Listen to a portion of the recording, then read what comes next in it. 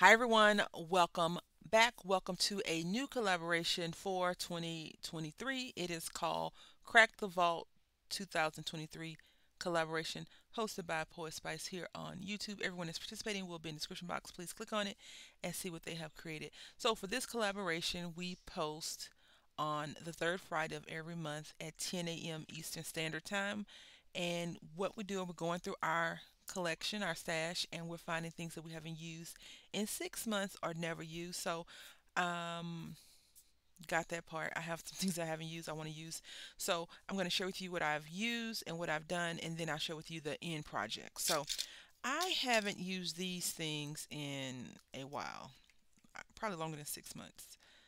Um, but this little flower rose die I really like and this also I had got these back when I was buying a lot of dies off of AliExpress a long long time ago and this love one I think it's from AliExpress or either um,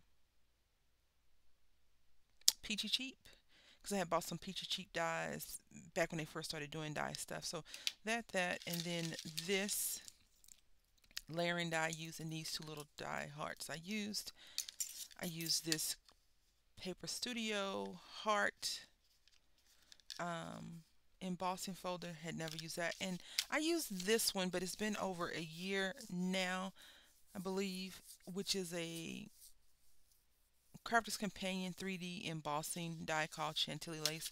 So these are the things that I use, and these are the things that was produced with that. So you got these little trails of hearts right here. We have more hearts here. I don't think love is in the air yet, but it could be. And then, so I used the die cut, made this here. If you run it through and you have some thin paper, you can actually poke holes. These little um, embossed pieces will fall out. Not on purpose though, it's a paper thinner. And then I use these, and I didn't, I made these and I didn't get a chance to use it because when you see the project, you'll say, oh, okay, I understand why. Um, well, maybe not, because I don't understand why. But anyway, and then the word love, and then these um, flowers. So this is what it looks like. And on white paper, this would be good. You could just, even if you want to do a multiple layers, you could cut this piece off and do this in a green and then layer it on top. So you could cut the, whatever color you use, cut that off and just put this red on top of the green piece without doing a bunch of stuff. And your this piece will be thicker because you'd have the the whole entire green piece on top of that. And then love looks like this.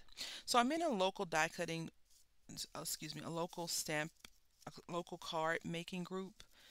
And on the third Thursday of every month we swap cards. And for this month's card swap, it was, can you guess, with all the things that I've used, monochromatic colors and Galentine and or a thank you with heart theme. So I made this. Now I struggled, but this is what I made. I the only thing you can use is cream of white for the writing piece. I also probably cheated here because it just looks so plain. And I think the thing is I used too much of a bold color red. But here we are. This is what I created.